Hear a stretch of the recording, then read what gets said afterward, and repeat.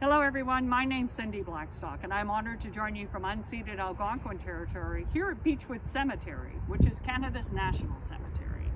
I wanted to share a few words about reconciling history because this is actually something you can do in alignment with public health guidelines during COVID-19.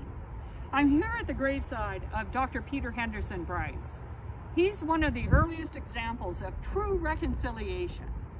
He served as, as the Chief Medical Health Officer for the Indian Department in 1904.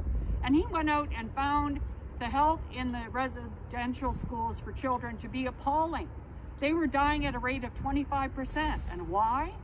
Well, that was owing to the serious underfunding of healthcare services and also really bad healthcare practices, like putting sick kids in with healthy kids, not having proper ventilation, and not having proper sanitation. Now, Bryce's reforms would have cost $15,000 for the government back then, and they had the money. They were running a budget of over 100 million, but the government of Canada said no.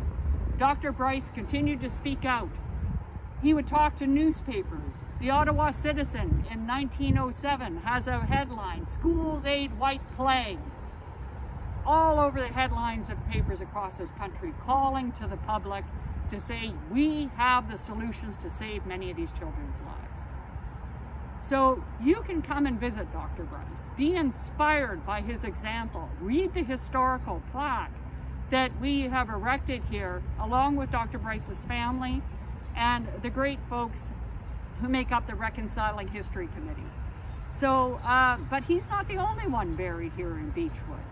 So you can leave some rocks or some sweet grass or some tobacco and join me at the next place where we're going to visit in Beechwood of another actor from Reconciling History's residential school history.